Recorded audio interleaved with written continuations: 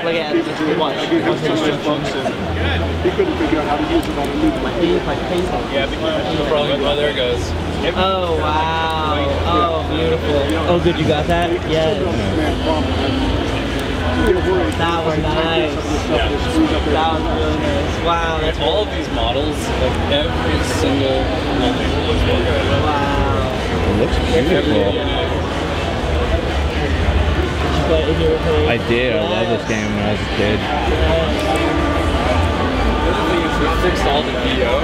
Yeah. So, like, remember the Scottish guy in the William Wallace tutorial? He had this horrible Scottish accent. now we hired like a real Scottish guy. We went out and got ethnic uh, actors who were from all of these different civilizations and made sure that they actually had like a legitimate accent. Did, is that for all, all the VO work? All the campaigns, all VO. Really? Yeah. Oh, Everything. It's so cool. All of the campaign art, we had a thousand pieces of art.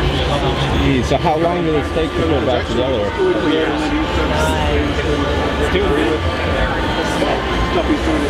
Getting some good players in today. Yeah. Yeah, somebody beat it here in high school. How long did it take? The, to beat your high score? well, it, actually, he, he had, like, you could beat it with years left on. I had more years left, but he got a higher score. Oh, okay. So this person, they just have to kill the Aztecs and the Saracens, and uh, 21 years, like three seconds.